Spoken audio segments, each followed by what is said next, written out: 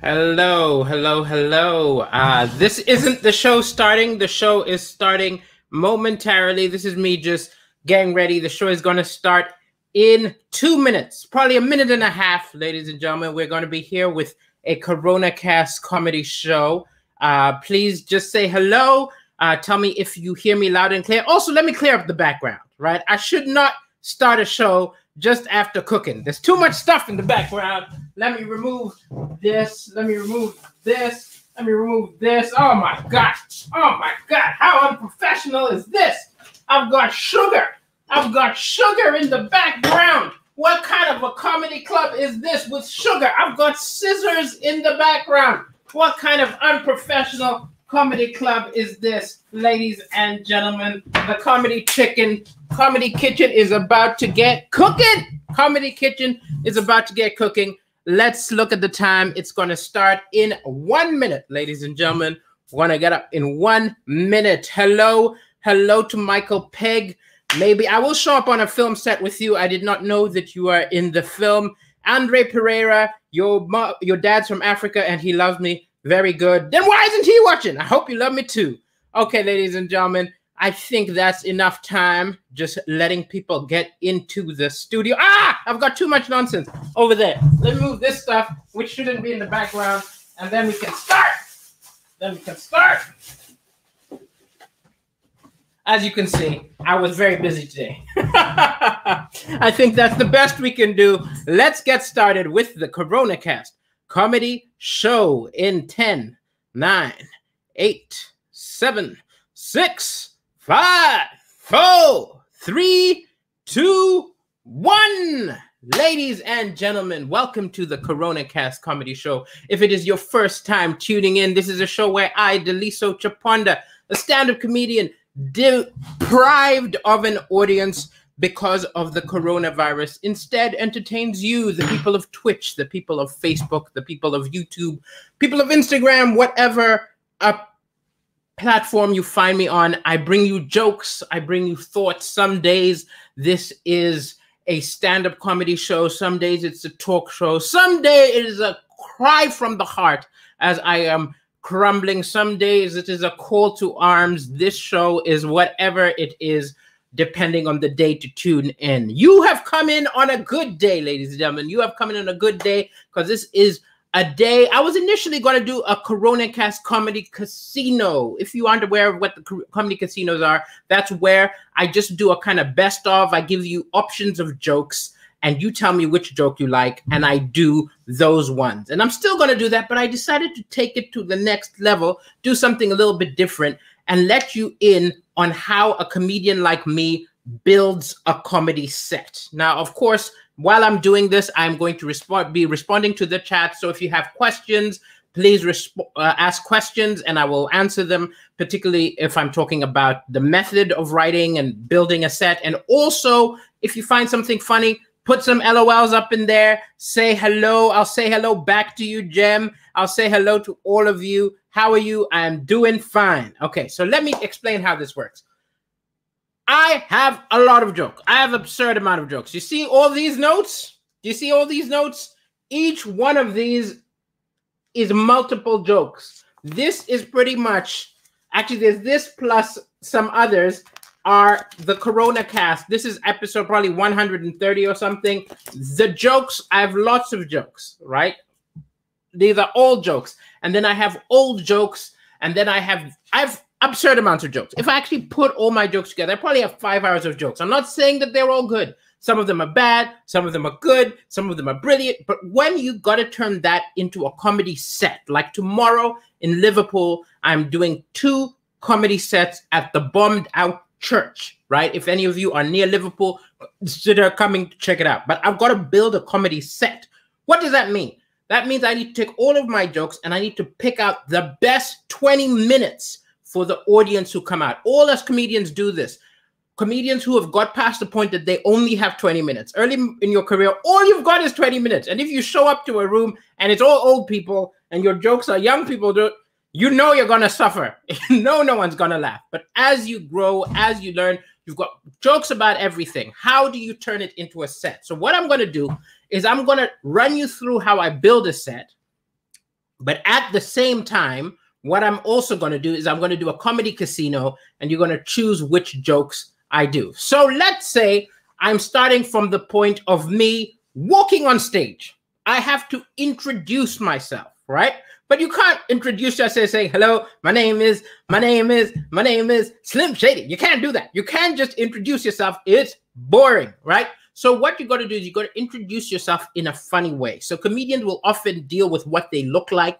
Often the first thing comedians say will be about their weight or what they look like or their race, or it'll be something about them, something um, that people notice about them they bring out. So often I start with something about my heritage. So I might say something like, Hello, I'm Daliso. I'm from Malawi, the world's number one supplier of Madonna babies. Boom. You know, something like that. Quick, pithy, something about where I'm from. And then I will elaborate by adding a story about Malawi because a lot of people in the UK don't know where Malawi is. So this is the heritage round of the Corona Cast Comedy Casino. You are going to choose one of these three options. What you got to do is in the comments type out which one you want to hear. Do you want to hear the joke about me not speaking my language? Do you want to hear the joke about African name or do you want to hear the joke about politician father? type away. Let me know which one you want, and I will let you know. I'll give it a moment. Type quickly. Type quickly. They're all slightly different. I'm glad you enjoyed that joke, the Madonna gag, um, Sean and Rui. So please vote away. Tell me which one you want to hear. Whichever one gets the most votes, the joke I'm going to do. Type them quick. I need something why not? Why am I not seeing the votes? There may be a lag. There may be a lag. African name. We've got one vote from African name from Andy Robertson. We've got a vote for my don't speak the language on uh, Heritage Round. Reese Fender said it worked beautifully on BGT. Actually, that is not the joke I did on BGT, but it's very close. The joke I did on BGT is I'm from Malawi. Madonna adopted a baby from Malawi. I missed my little brother. But yes, similar joke. It's Malawi and Madonna. okay, how we do. Uh, oh, don't forget to DM. I will DM you my details. I will indeed. Okay, so we've got name. We've got another vote for first. So people either want name or don't speak the language. Can we get one more, Joyce? One more, Joyce. Hi, you're from Malawi. You'd like to hear a joke? Well, I'm about to do a joke about Malawi. So vote for which one you want. Do you want to hear a joke about my father, the politician, African names, or not speaking the language? I am Chaponda indeed. Hello, your good friend is my brother Mass. Excellent. My brother, the doctor. We need one more vote because we are in a tie. We need someone to tie break. Someone, the first person who votes for either don't speak the language or African name is going to make me uh, do that one.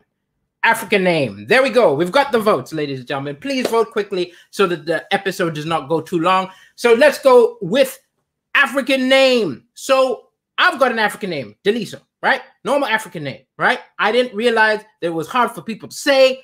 People butcher my name. And when I went to North America, it was absurd. They'd always be like, Delso, Delso, Delso.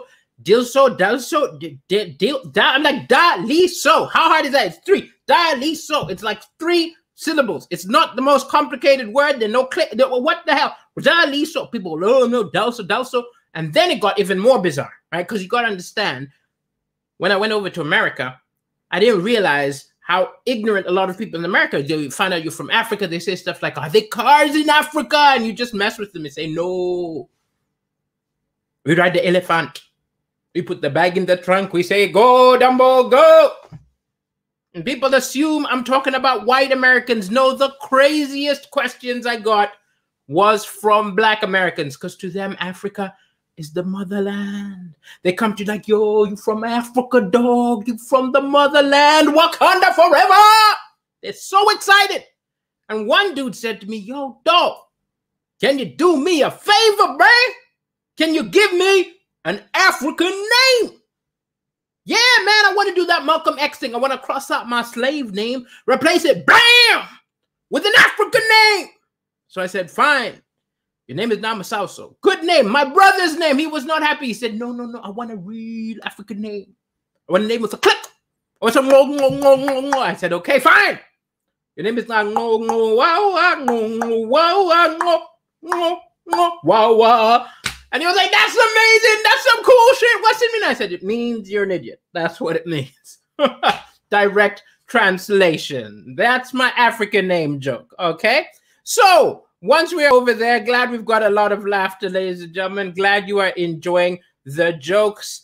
Uh, so let's move on, ladies and gentlemen. So once I've introduced myself, what I then do for the set is I choose a bunch of themes that I want to do, which I'm introducing to myself myself to the audience and commenting on stuff about the world. So this is still the first third of the show. So I probably follow this up with another joke where I'm introducing myself to the audience. So let's do following the heritage round. Let's do a high school days round, a high school days round. Okay. So this would be me. I've said I'm from Malawi. I'm from Africa.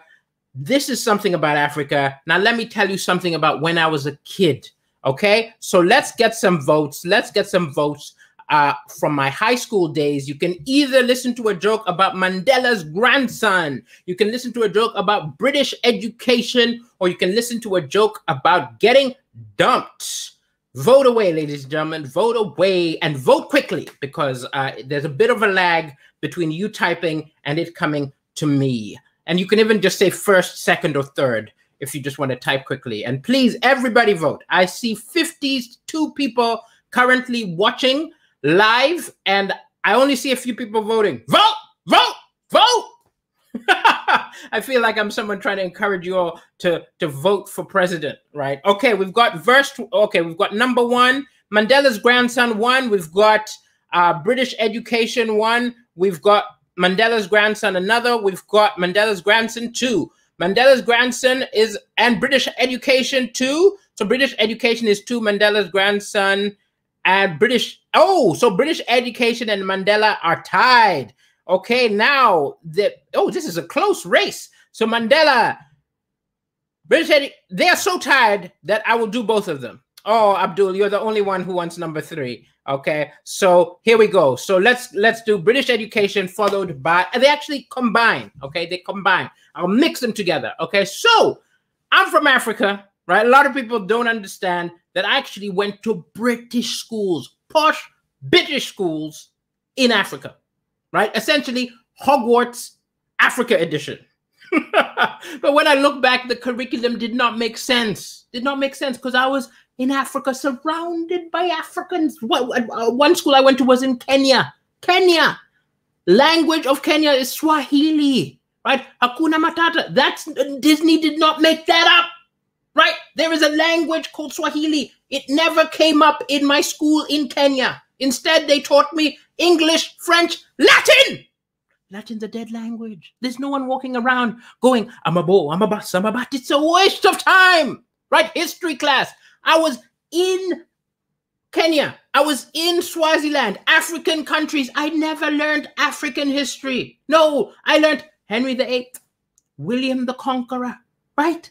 And I accepted it then, but I realized as I got older in loads of subtle ways, my school was telling me that my culture was horrible and yours was awesome.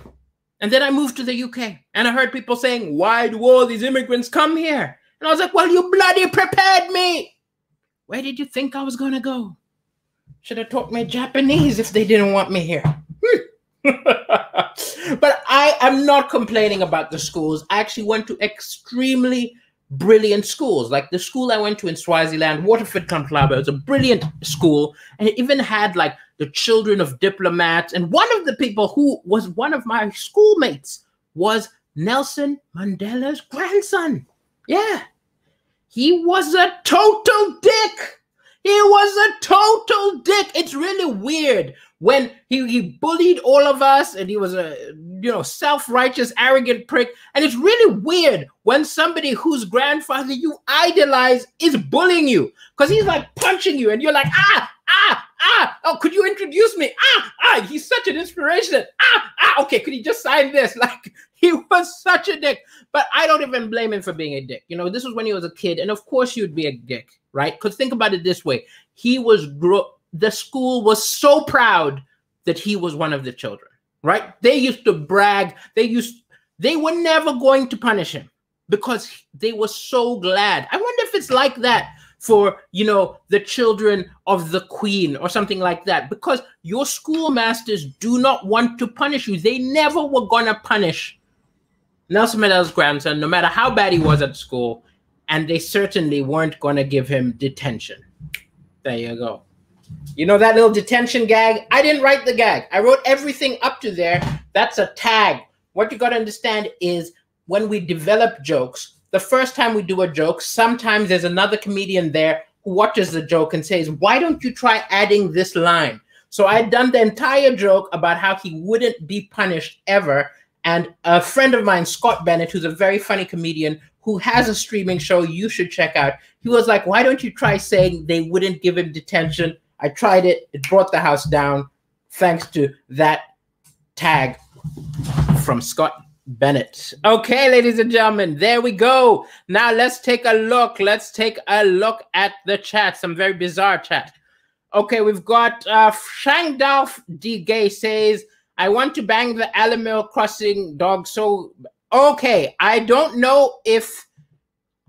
Okay, this man is trying to make his own jokes. I won't read it out, but I will put it on the screen. So if anybody wants to read this, um, I don't know if you are making a joke or having a breakdown, Skankdolf, but uh, keep doing what you're doing.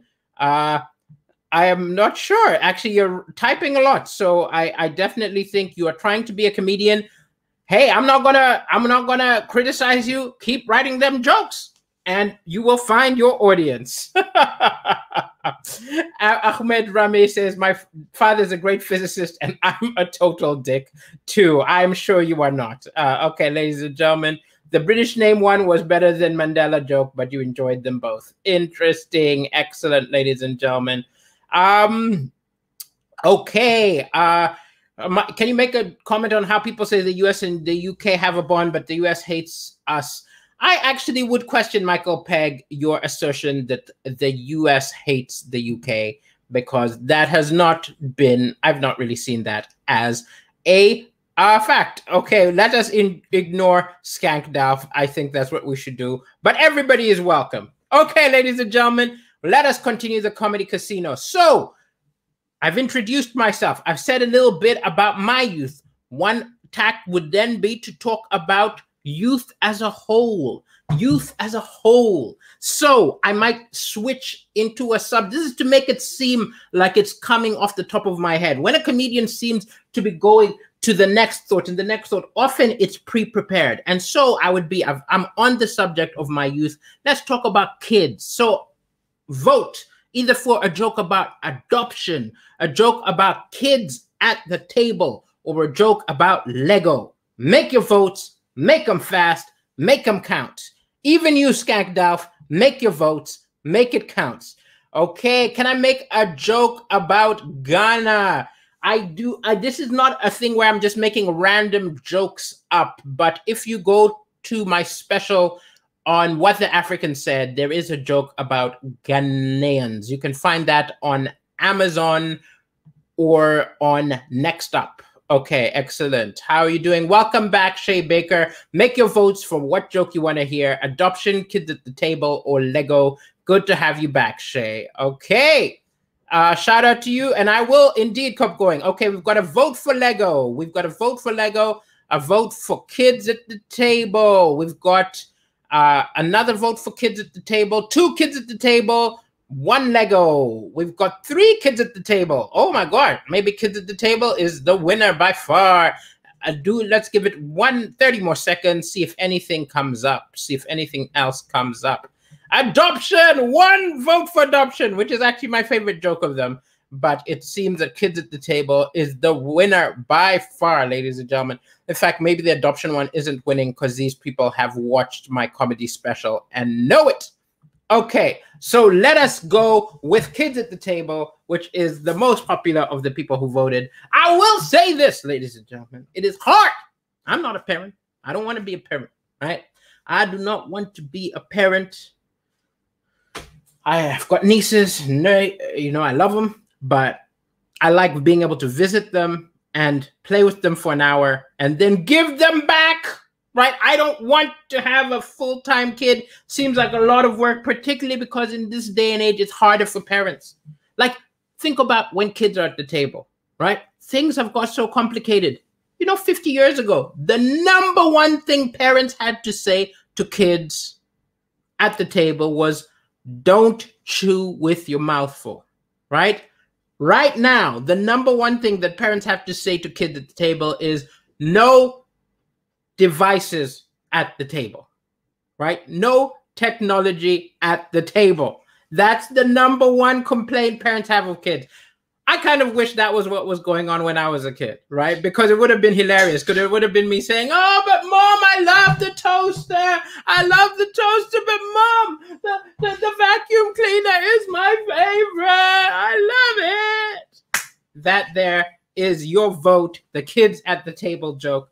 I hope you enjoyed it. Welcome home.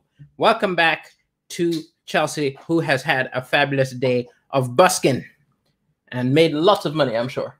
Yeah. Wonderful. Okay, let's keep going, ladies and gentlemen. So, after such a point where I have introduced myself, talked about where I'm from, talked a bit about children, I'm expanding it out from me to society. So, I might talk about something pertinent to what's going on in the world. So, I might decide to talk about racists. Racists. So, for the Corona Cast Comedy Casino, you get to choose which joke you want to hear from racists demonstrating lazy racists, or BNP full version. Why do I say BNP full version? Because on Britain's Got Talent, I did a one liner, which people don't realize is part of a longer routine. So if you want to hear the full routine, you can vote for that, or you can vote for lazy racist, or you can vote for racist demonstration. Make your votes now. Make your votes now. Make your votes now. Vote, vote, vote. Vote fast, vote quick. Hello to Chelsea, says Sarah. Hi, Sarah. Hello. Uh, if I was at my epoch, my favorite would be the refrigerator. Definitely true, Rami. And make your vote for which of the racist round jokes you want to hear. I think there's a lag. There's definitely a lag, and we have lost a few people. Anytime I go longer than 30 minutes, I start losing people. But uh, I think we'll still do two or three more rounds. Oh, some people are coming back. I was wrong to uh, make.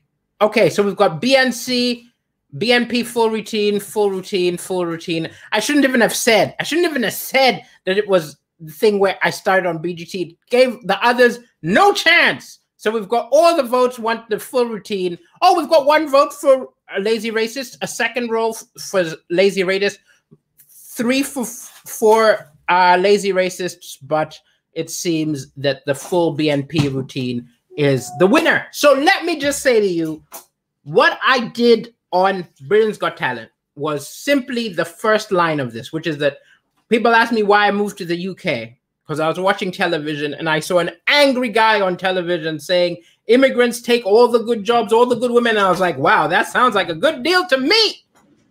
They're running an advertising program. Now, this actually was part of a longer routine about the BNP. The BNP, for anyone who's not in the UK, is a right wing party called the British National Party. And I used to do these jokes about them, right? I used to say the first one was, and this is totally true, they once slipped a little flyer through my letterbox. I don't think they knew who lived there, right? And I looked at it, and it made me laugh so much that I wanted to use it in my show. And I went to like a print shop and I was like, hey, can you blow this up?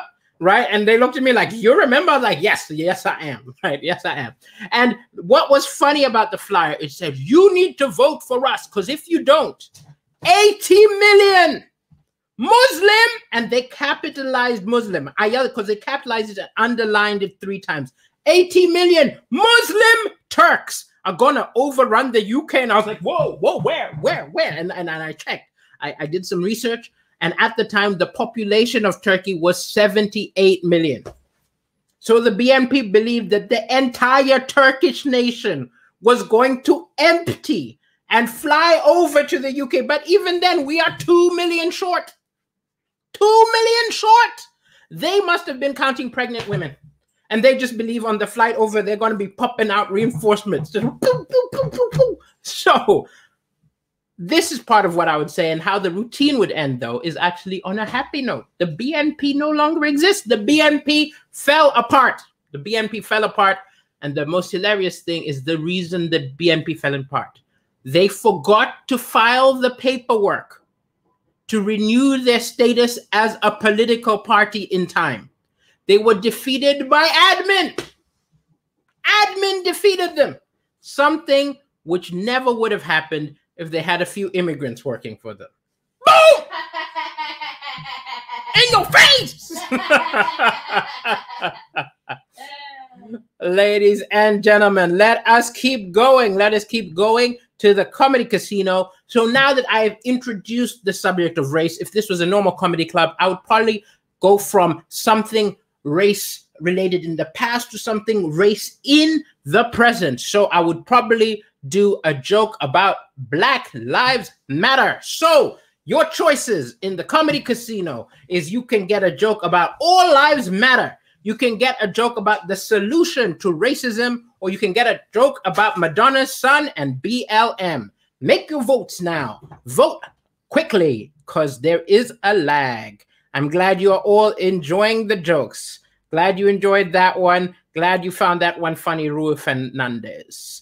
Uh, excellent. Let's do it. Let's do it. Um, okay. I'm glad you liked the pregnant woman uh, gag. Excellent. Let's do it. Let's do it. Let's do it, ladies and gentlemen.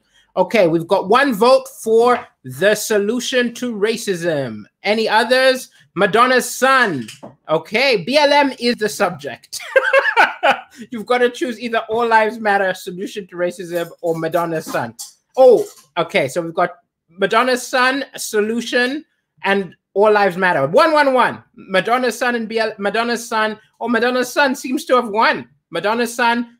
Oh no, solution to racism. Solution. We've got solution to racism and Madonna's son in a tie. We need one person to be the tiebreaker. Which one do you want? Solution to racism or Madonna? Dave Stewart is the tiebreaker, and you want Madonna's son. So let's go way back to the week where George Floyd had been murdered and there was a big flare up. There was a big demonstrations. It hit people all around the world. People got very emotional. People decided to show their support in all sorts of ways, right? Some people were showing their support by tweeting. Some people were showing their support in all sorts of ways. David Banda.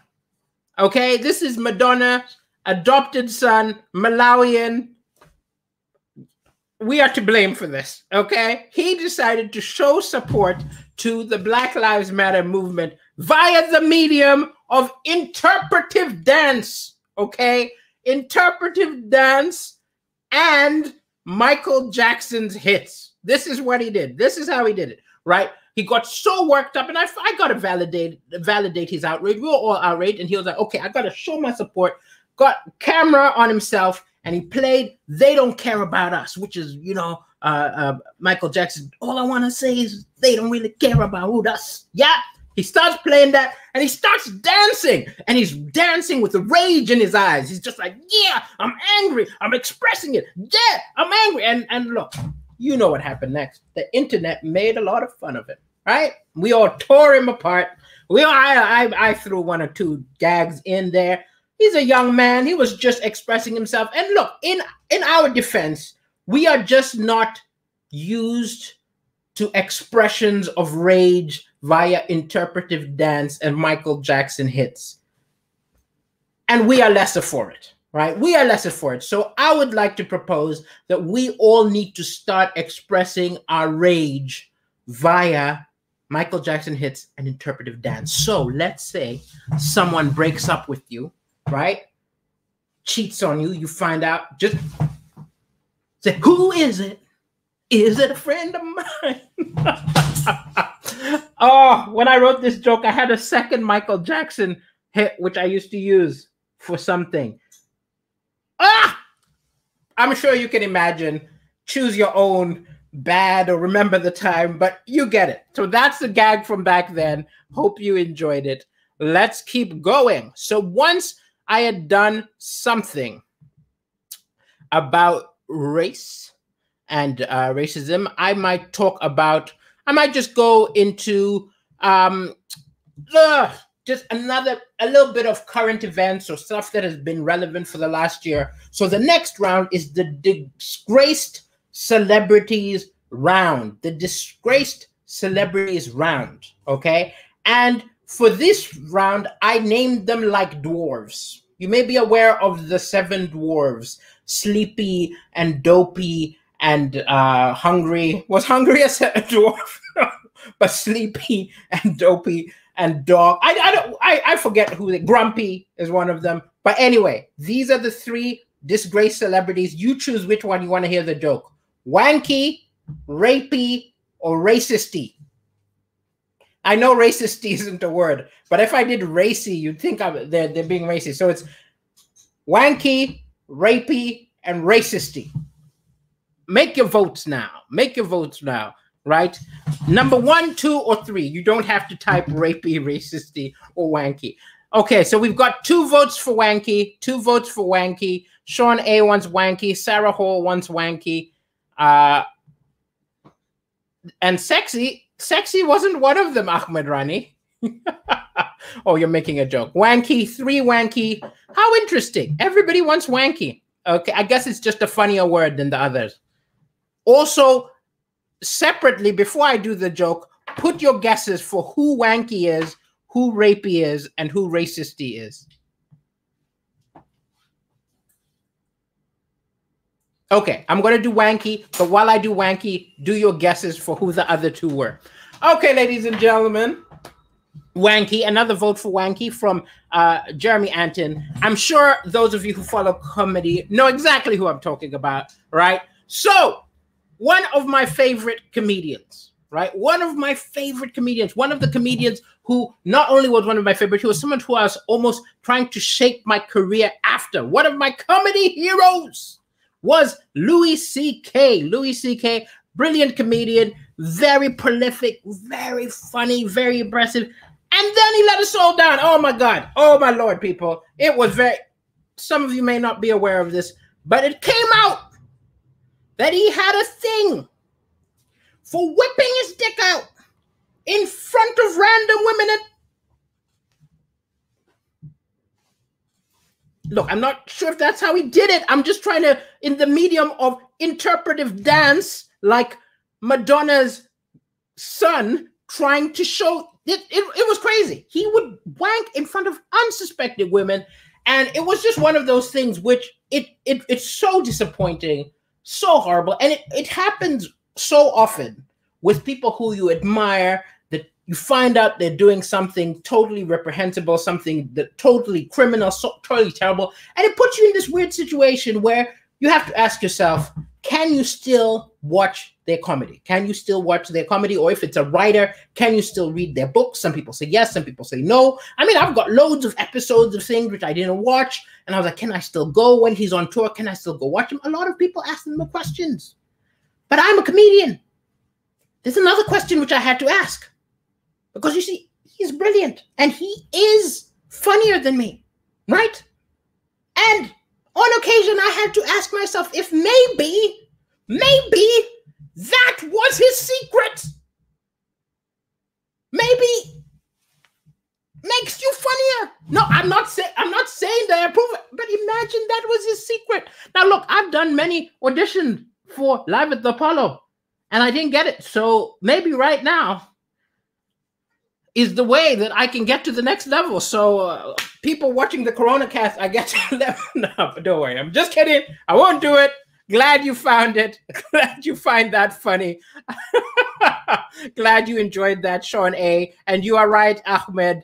Uh, Rapey was indeed Bill Cosby. Rapey was indeed Bill Cosby. Uh, racisty was actually uh, it was Wiley was Wiley, but there are a lot of people who could have done jokes for racisty. Okay. His secret. What's mine, says Sean A. I'll never tell my secret. I will never tell. Okay, ladies and gentlemen, let's move on to the final the final two, the final two, the final two. So we have a one liner round, a one liner round. Now, one liners, I think you're all aware, are jokes which are just a sentence. First sentence is the setup, second sentence is the punchline. So, the penultimate joke I will tell on this comedy casino is a one liner. You have got the choice of TikTok, you have got the choice of Tour de France, and you have got the choice of woman who lived in a shoe. This is literally a one liner. So vote quickly because the whole joke you're voting for probably takes 10 seconds or 15 seconds at most. So vote, vote, vote. TikTok, Tour de France, or the woman who lived in a shoe. Make your votes now. Vote, vote, vote. Mm.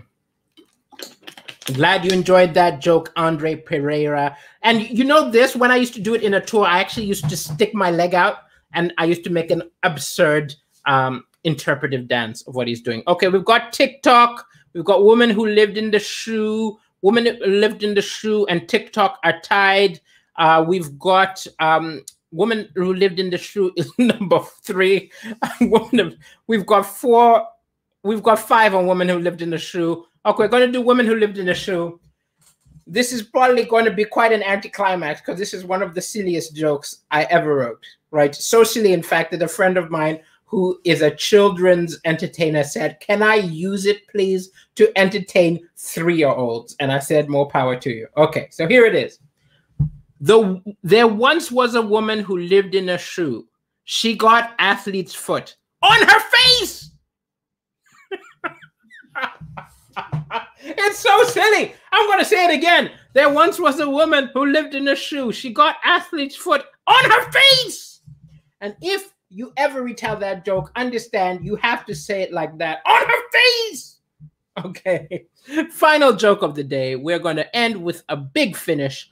I always end my shows with a story. I often will end with a big, crazy, wacky story. So you have got the option of three of my best jokes to end this episode and this week's Corona cast. It's off for the weekend. We'll be back on Monday. So your choices are countdown.